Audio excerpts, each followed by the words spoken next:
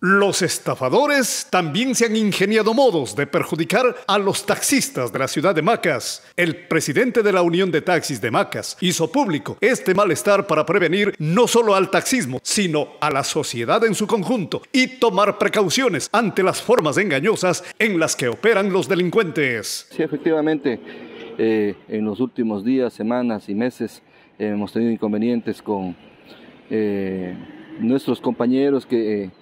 Al decir de nosotros gente eh, estafadora, gente inescrupulosa, eh, realiza llamadas eh, a nuestras centrales de radio taxi solicitando el servicio de encomiendas. y es así que, como le comento, en los últimos días efectivamente hemos tenido inconvenientes cuando se ha solicitado el servicio de eh, compra de, alguna encomienda o de algún alimento o de alguna medicina.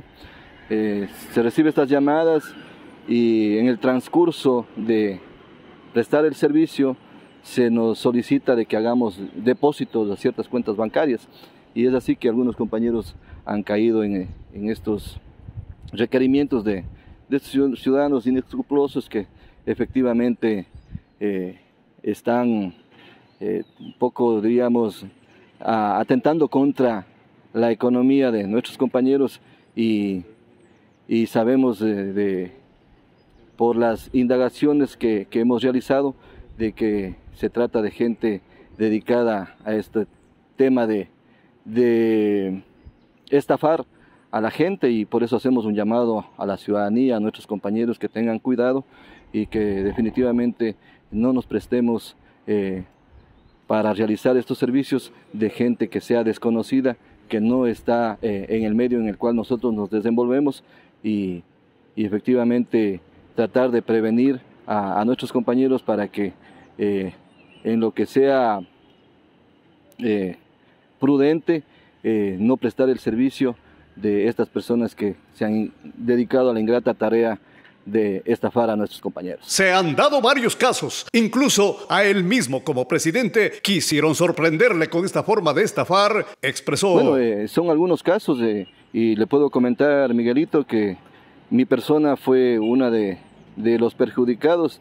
Eh, me enviaron a, a comprar alimentos.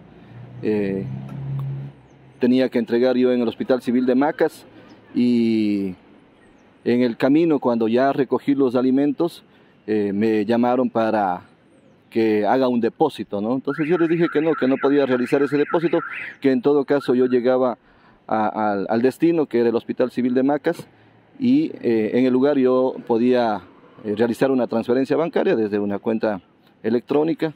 llegué con los alimentos al hospital, averigüé de esta supuesta doctora que había solicitado eh, la compra de estos alimentos y no ningún ciudadano del hospital me pudo dar razón.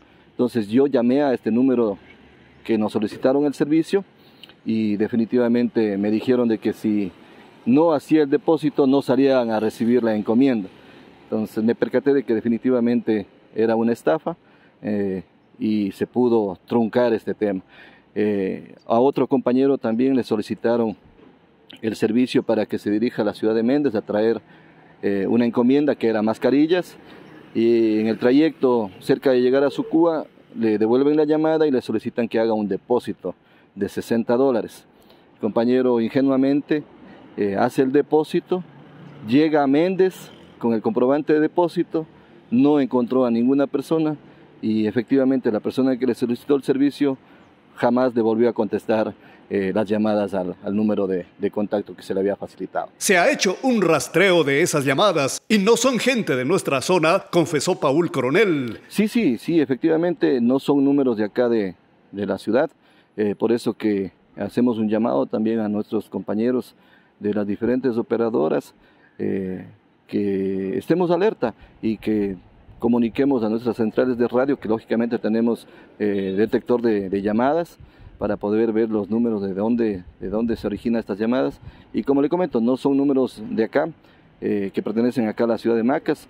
Y vea, eh, hace unos días atrás eh, yo recibí una llamada de parte o supuestamente del SRI de la ciudad de Quito, de un asesor, eh, que me solicitaban una contribución económica para una supuesta revista. ¿no?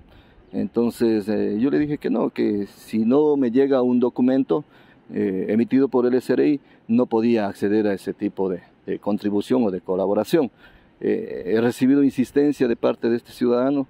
Efectivamente, el número convencional pertenece a la al SRI de la ciudad de Quito, pero jamás me llamaron de ese número, sino más bien me llamaron de un número celular. Entonces ahí se pudo diríamos, eh, evidenciar de que se trataba de, de, una estafa. No debemos ser tan confiados, porque los avivatos se dan maneras de aprovecharse de la ingenuidad y buena fe de nuestra gente, concluyó. Sí, efectivamente, como digo, eh, tenemos que estar un poquito más eh, a la defensiva, prevenir este tipo de, de actos ilícitos que se están dando con nuestros compañeros y hacer un llamado también a las autoridades de control para que se pueda eh, dar con, con estos ciudadanos que se están dedicando a la ingrata tarea de estafar a nuestros compañeros taxistas.